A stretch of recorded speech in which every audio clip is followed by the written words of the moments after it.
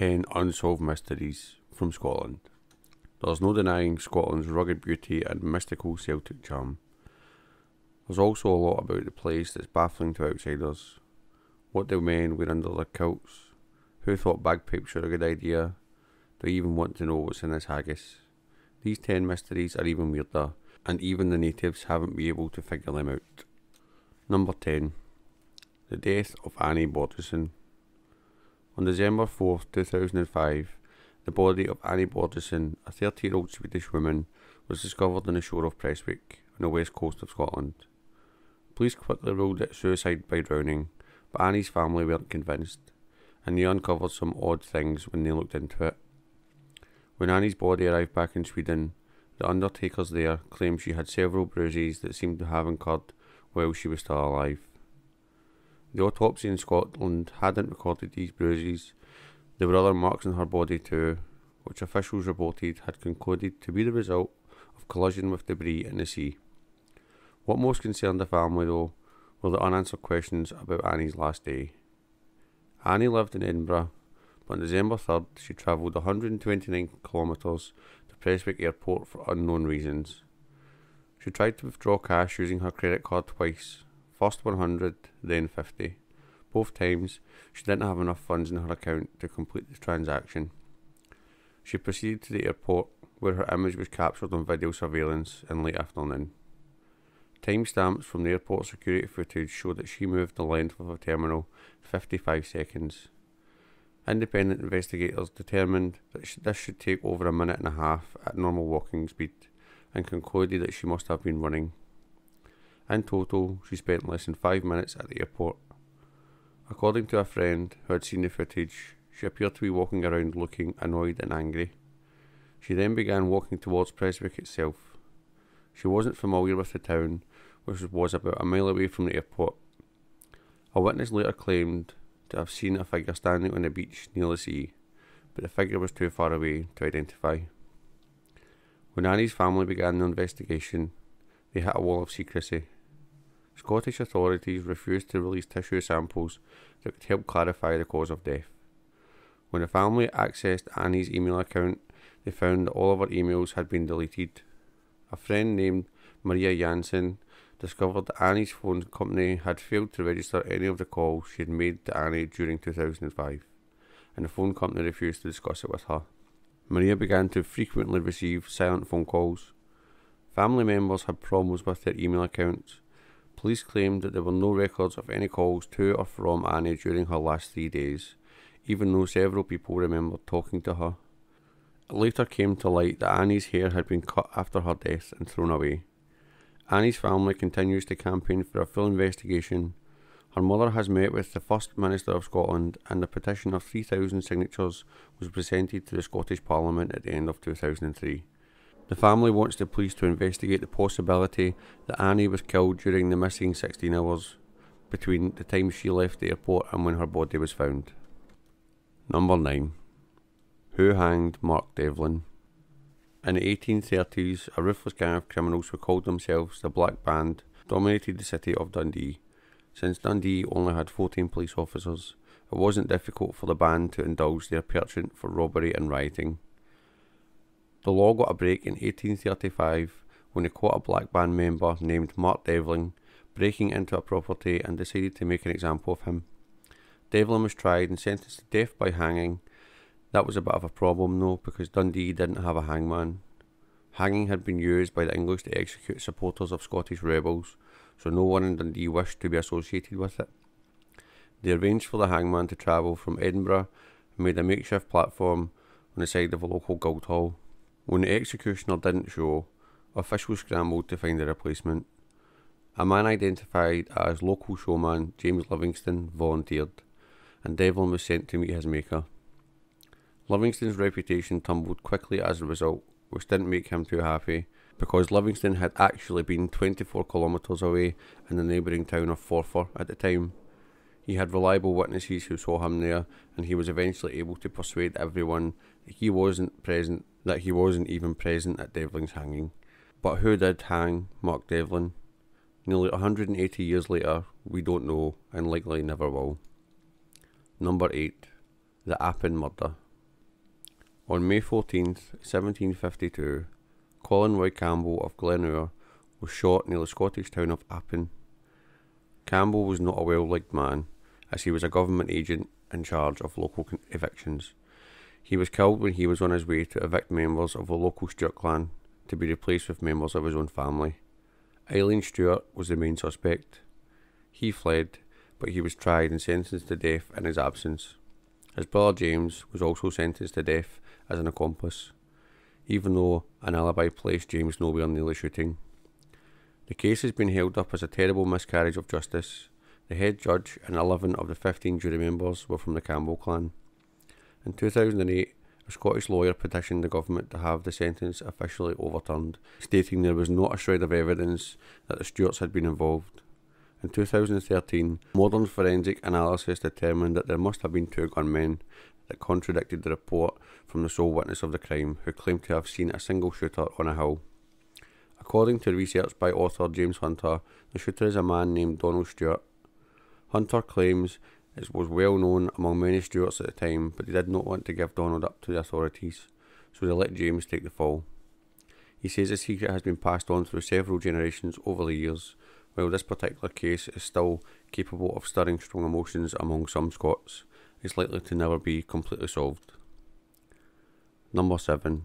Gilmerton Cove a small cottage in the Edinburgh suburb of Gilmerton hides the entrance to an unusual mystery. Buried in the sandstone underneath the town's homes are a series of tunnels known as Gilmerton Cove. They are obviously man made on top of the building like layout. There are benches, seats, and stairs carved from the stone, yet no one has any real idea who built them or why.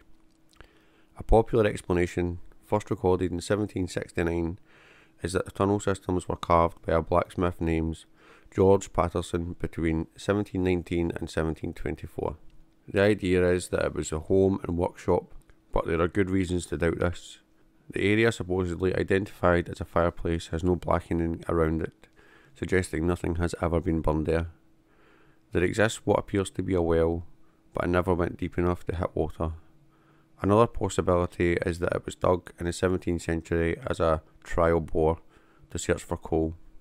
There are some tunnels heading north that are blocked but may once have reached the nearby Craigmillar Castle, suggesting that the cove could have been an escape tunnel. Some of the wilder suggestions include the idea that it was used as a hideaway by witches facing persecution. An archaeological investigation was carried out between 2000 and 2002 to determine once and for all what purpose the tunnel served. Sadly, its only conclusion was that the cove had been so widely used over the last few centuries, any chance of figuring out its origins are long gone. Number 6. The meaning of stones. Among the most popular types of art found across Scotland are ring and cup marks, which are patterns of concentric circles and lines carved into rocks. Some of the art may be as old as 5,000 years. The meaning of these patterns is lost to time, if they ever had meaning at all. A more recent art phenomenon found in Scotland are Pict stones. These are relief sculptures carved into stone slabs similar to Egyptian hieroglyphs that depict people and animals. A statistical analysis of 200 Pict stones from the 6th century concluded that they aren't simply pretty pictures, they represent a written language. The study, carried out by Exeter University, analysed how often certain symbols followed others and found a pattern that matched many known ancient languages. Unfortunately, the study didn't bring us any closer to understanding what the stones actually mean. The lead author of the research, Rob Lee, suggests they may be lists of the dead. The vocabulary used on the stones seems to be quite limited, and we may never know just what the Picts were recording. Number 5 the disappearing Ninth Legion. The Roman army's Ninth Legion successfully conquered England in AD 43, and with the exception of the odd rebellion, kept control of the bottom half of Britain for the next 74 years. Then, from AD 117 onward, the entire legion suddenly vanished from the historical record. Today, no one has any idea what happened to them. One of the most popular theories is that they marched north into Scotland to fight an uprising of the Picts. This story has gained traction in fiction as the basis of several books and films. But some historians believe the Legion simply left to go fight elsewhere. It's also been speculated that they were defeated in a battle against Rome's nemesis, the Parthians in Iran. Another possibility is that they lost against a Jewish uprising in AD 132. One clue suggests that things had started to go wrong for the ninth even before that time. When Emperor Hadrian turned up in AD 122, he brought another legion with him, the sixth. He proceeded to build a wall across the north of England, then called Britannia, to keep out the people north of the border. If they had recently wiped out a renowned army of his military, that would have been a very good reason to erect such a structure. Number 4. The Missing Library of Iona. In AD 563, missionary St. Columba and his followers landed on the Scottish island of Iona. It was there that he founded a monastery, which became a capital of knowledge during the Dark Ages. Kings were buried there, and people made pilgrimage to benefit from the wisdom of the monks. The monastery there was filled with the best writings of the age, most of which have vanished. The only known survivor is the Book of Kells, which is preserved at Trinity College in Dublin. Many believe the rest were destroyed by Viking raiders who attacked in the 9th century, but some historians believe the books may have survived. They suggest that the books may be taken to Ireland or buried nearby to keep them safe. While archaeological digs on nearby islands in the 1950s proved fruitless, there's a chance that the missing knowledge could still be nearby. After all, the Dead Sea Scrolls are centuries older, and a shepherd simply stumbled upon them in a cave. An immense written record may exist from a time period that gets its name from the lack of such a thing, but we simply don't know where it is. Number 3. The Fate of David Stewart. David Stewart, the Duke of Rothesay, was an unfortunate victim of a royal family feud. His father was Robert III, the King of Scots. Unfortunately, when Robert took the throne in 1390, he lacked the backing he needed to rule effectively. Support among the nobility was for Robert's younger brother, Robert Stewart, Duke of Albany. That's not a mistake, both brothers were called Robert at that point. Robert III had been born John Stewart, but he changed his name to Robert when he became king. In 1399, David was appointed by his father to lieutenant of the kingdom, but his uncle wasn't too pleased about the young lad gaining so much power. In order to maintain his stronghold on Scotland, the young Robert had his nephew arrested in 1401. No one knows exactly what happened to David Stewart after that. It's believed he may have been starved to death in the dungeons. One story claims that he ate his own hands in a desperate bid to survive. The Duke of Albany claimed that David had simply died of dis- dysentery. Either way, it's believed that he was buried in an unmarked grave in Lindores Abbey, and the current owners of the land are using underground imaging in an attempt to locate the body. If they find it, they plan to use DNA to confirm it is the prince and set the record straight about how he died. Number 2. The Great Mull Plane Mystery. There is very little that makes sense about the disappearance and death of Peter Gibb. On Christmas Eve 1975, just after he'd finished dinner and a bottle of claret in his home in Isle of Mull, the former Royal Air Force flying ace announced he was going out for a flight in his Cessna plane. The staff and hotel guests suggested it wasn't such a good idea, to which he responded, I am not asking permission. I just thought it was a courtesy to let you know. I don't want a fuss. He left with his dining companion, Felicity Grainger, a former university lecturer. She later reported that Gibb had given her instructions to stand at one end of the runway with torches to guide his takeoff. Multiple witnesses claimed two torches moved independently in ways that would require another person to be helping, though Grainger claimed there was only her. Gibb took off, and shortly thereafter a sleet storm rained down that would last for 72 hours. Gibb didn't come back. While his motives were baffling enough, the real mystery began four months later when Gibb's body was found on a nearby hillside. A pathologist ruled that he had died of exposure. There was a cut in Gibb's leg but no other injuries. Tests also concluded that neither his body nor his clothes had been in contact with the sea, so he definitely exited the plane on land, but no one could find the plane. Mull is not a large island, about the same land area as Dallas, so the disappearance of the craft was quite troubling. A light aircraft matching the description was found in 1986 in the sea between Mull and the mainland, but the doors were locked and the plane had apparently crashed extremely hard. The wings were a significant distance away from the rest of the fuselage, it suggested the sort of impact that a person wouldn't get out of without serious injury. Two explanations have been suggested, neither of which sound likely. The first is that Gibb leapt from the plane while it was in midair above the hill. He landed on the hill without suffering anything worse than a cut leg, then lay down and died in the cold. The problem with that explanation is that the aircraft would have been left to fly itself into the sea while the doors somehow locked themselves. The other theory is that Gibb was working for MI5 and had to attend an urgent mission in Northern Ireland. He was captured by terrorists, somehow killed without being injured in any way, and his body was planted back on Mull. The light aircraft found in the sea left out of that theory. Then again, it doesn't make much sense than the alternative. Number 1. The Glasgow Effect. The people of Scotland have one of the lowest average life expectancies in all of Europe.